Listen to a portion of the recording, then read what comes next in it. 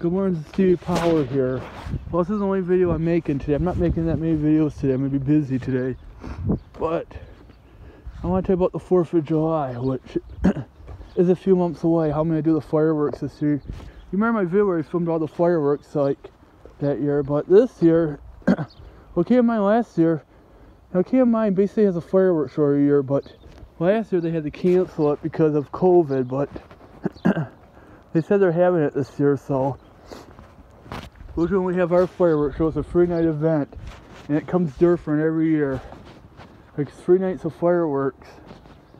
So yeah, so my plan this year is the fireworks this year, July 1st, 2nd, and 3rd are fireworks, the city ones. So I'm planning on July 1st go film the city fireworks, the whole show, and then go film the neighbors the rest of the night afterwards. Go around town film the neighbors.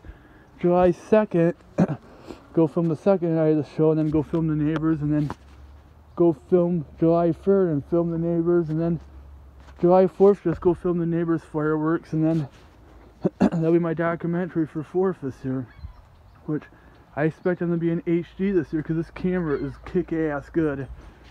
This camera probably picks up more than my other one, like more high quality stuff. So I can't wait for this year 4th.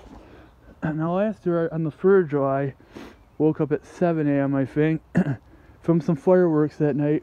Went over to this house over at the subdivision, filmed their fireworks, and then I then I went over there for a while, and then I went over here because they were showing some fireworks stuff. I went in their yard and watched their fireworks for a while, which I'm sorry that when I was over there I didn't get them on film though, but then I went back over there and then watched some of their fireworks, and then I went filmed the traffic light kickoff for the night, and then I came back here. I think.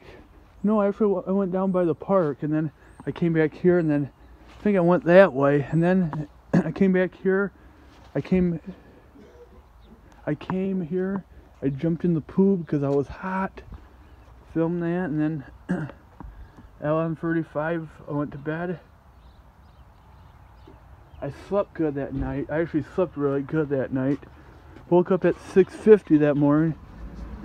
Came out here at 7, did a video, and then the rest of the day was pretty good. I went in the swimming that day in the pool. I stayed in the pool because it was hot that day. I heard a couple fireworks throughout the day, and then around 8 o'clock that night, I went to film, showing that firework I had off. Then I started filming. Then I went down Bangor Road down there and filmed. See if I could get some fireworks down there. I heard a couple, and then came down here and filmed some. They were starting really quick that night, and then these neighbors did it, and then I went down there, saw those squealy fireworks, and then filmed that. Then I came back here and filmed some more over here, and then I went downtown over there, filmed those, and I went back to the subdivision, filmed that one fountain, came back here, filmed some over here. I think I was out till midnight that night. Then around midnight, I went in the house. And I didn't fall asleep till around 1 in the morning because I had to go to the bathroom bad. So then I fell asleep at 1, woke back up at 2, went to the bathroom, and then went back to bed, woke up at 5.50, did a video at that time, and went back to sleep and got up at 6.50, so this year's 4th will be good, so have a good day, bye.